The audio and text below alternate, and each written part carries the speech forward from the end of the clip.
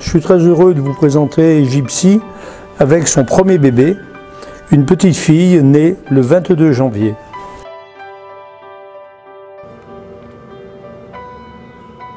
Voici Monsieur Licalé, qui vit chez nous depuis maintenant 4 ans, 5 ans. Euh, ce gorille est né en Hollande, il est arrivé chez nous et nous avons voulu le mettre avec Digit, ça s'est mal passé.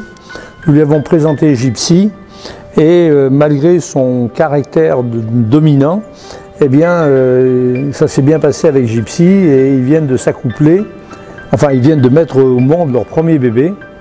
Et depuis qu'il a ce bébé, il est devenu très gentil, très calme, très protecteur. D'ailleurs, vous voyez, il vient de quitter cet endroit près de moi parce qu'il a entendu le bébé qui pleurait dans les bras de sa maman. Donc voilà, nous sommes très heureux puisqu'il s'agit de notre neuvième naissance de gorille à Saint-Martin. Et c'est le premier bébé de la troisième génération de gorilles que nous avons actuellement.